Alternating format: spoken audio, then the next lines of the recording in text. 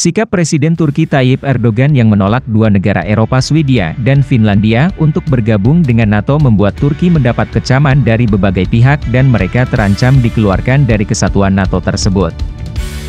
Ancaman mengeluarkan Turki dari kelompok NATO datang langsung dari Amerika Serikat sebagai ketua organisasi tersebut. Erdogan menolak masuknya Finlandia dan Swedia ke NATO, setelah kedua negara tersebut menolak permintaan Turki untuk ekstradisi tersangka anggota Partai Pekerja Kurdistan, yang klaim sebagai organisasi teroris. Penolakan kasar Erdogan untuk mengakui anggota baru ke NATO menyebabkan kegemparan di Eropa dan Amerika Serikat. Bahkan, muncul seruan untuk mengusir Turki dari NATO. Sementara di Amerika, isu munculnya pengecualian Turki dari NATO, pertama kali terdengar pada 2019, ketika Turki mengakuisi sistem pertahanan udara S-400 dari Rusia. Negara Eropa juga mempermasalahkan fakta bahwa Erdogan menyebut Presiden Vladimir Putin sebagai teman.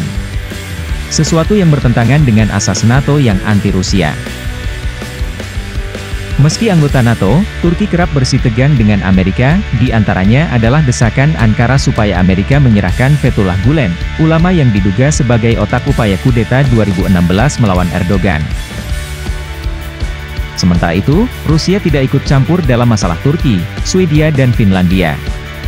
Sekretaris Pers Presiden Dmitry Peskov mengatakan faktanya, Finlandia dan Swedia adalah negara yang telah mengajukan dan melamar untuk bergabung dengan NATO.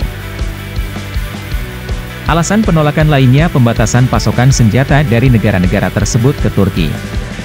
Di mana Finlandia dan Swedia melarang ekspor senjata setelah intervensi Turki di Suriah pada 2019.